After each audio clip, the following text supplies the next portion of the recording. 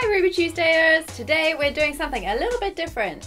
In the past, I've had some requests as to what equipment we use to film with, and I've covered that, uh, what cameras we've used in the past. But today we're going to do something a little bit special, and we're going to be talking about a screen from BenQ, and Oh, why There you go. the screen from BenQ, and why it's a game changer for us. Well, for me, anyways. But let's get the specs out of the way first. So, the E EW3270U is BenQ's ultimate 32 inch 4K HDR 60 Hz monitor, which will play beautifully on PS4, Xbox, PC, and Mac, and also has HDR and more specifically HDR10. Wow, that actually sounds like a Street Fighter title, or one of them. Street Fighter X32. Street Fighter Alpha 3. I previously had issues with screens that I bought uh, previously because they were meant to be HDR 4K, HDR10, which they weren't, and some screens don't have them. This one does, so now we can play all of our games that require HDR10 in 4K. Yeah. The ultra slim design of this monitor is 31.5 inches from corner to corner and has an aspect ratio of 16.9 and the fact that it's 4K means that the screen offers a 4K 3840 by 2160 resolution which basically means if you wanted to you could put four HD screens inside this monitor without losing any resolution.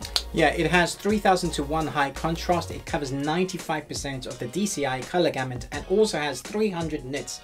Not a nat, a nit. What's a nit, you ask? Headlights. No. nits are used to describe brightness of the computer displays such as LCDs and CRT monitors. The power cable itself doesn't come with or need power banks, which is great because it takes up less space. It comes with quite a robust stand, as this monitor is quite hefty. It looks like it's worth a lot. Are they heavy? Yeah. Then they're expensive. Put them back. And it's cool! And what I mean by that is its design. It has a chic grey finish and can tilt somewhat to change the angle. It boasts a 170 degree viewing angle, yeah. Which I'm not sure why you would want to sit like that to watch Netflix or work, but maybe it just means that you can get a lot more people around you to watch with you. If you don't like the stand or need more space, it does have a mount on the back so that you can fix it to the wall or your face of your choosing. The monitor has two 2 watt downward facing speakers and to be honest they are not the greatest. Mm. It sounds a bit tinny but all you'd essentially use this for is the kind of any error messages you would get on say your PC. It does have a jack on the back Yeah. so you can plug in your external speakers or surround sound unit. Next to the jack is a USB-C port, a display port, and two 2.0 HDMI ports. One of my favorite things about this monitor is the fact that all of these ports face downwards, which means that you don't need to clamber around to get to the back of it. And again, it saves space, which is such a great feature. So switching between these ports is also super easy and there's no fiddly weirdness. A simple menu is brought up by a couple of buttons and voila, Bob is your uncle. No need to get behind your monitor to switch out cables. You just press a couple of buttons and you're done. There is also a power button and a HDR button which allows us to use the brightness intelligent modes. So HDR, what's the big deal? Ah, High dynamic resolution which basically means the whites are whiter and the darks are darker. You see the image more clearly, more vibrantly which allows us to see more like uh, the human eye does, the human eye can see. Well, depending on your eyesight that is. yeah.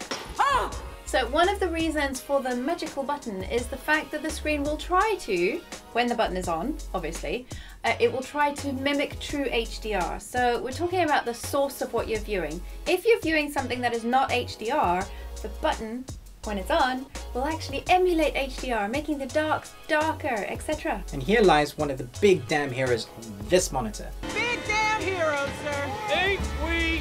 Ain't we just? The fact that it is true HDR. If you follow the Ruby Tuesday, then you'll know that we do a lot of Netflix reviews. Yeah. We have a good partnership with them going, and so we want to keep our reviews fresh and fun as possible.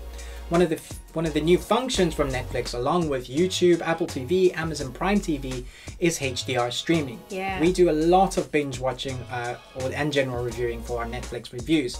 So this means we get to watch it in truly stunning resolution and clarity. Yep. And if you're looking for a gaming monitor, then this would be a great choice too. It's not just a screen for your PC or Mac. This monitor has a 4 microsecond refresh rate, and with HDR10, it's perfect for gaming. Obviously, everything we've mentioned about the screen already sounds pretty fantastic. The 4K, the 32 inches, 60 gigahertz, HDR, its design, but one of the features that has BenQ really excited about their product is the BI mode. BI stands for Brightness Intelligence, which means it has eye care technology built right into it. Yeah, this is a massive plus for me. I'm very dyslexic and um, I work on monitors anywhere from 6 hours to 12 hours a day.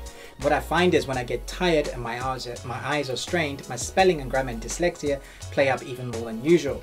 So having a monitor that automatically adjusts to the light in the room, reducing my eye strain, which in turn reduces my headaches, and improves my work output and timing of my schedules because I'm not trying to adjust the light of the monitor or worse, that I've forgotten the eye strain and lighting issues until I get a migraine or my whole document is highlighted in red because of the spelling and grammar issues. Yeah. Love, love this feature. Yeah, and to top it off, another great feature is the fact that it is flicker free as well, which means that I get less headaches too. Woohoo!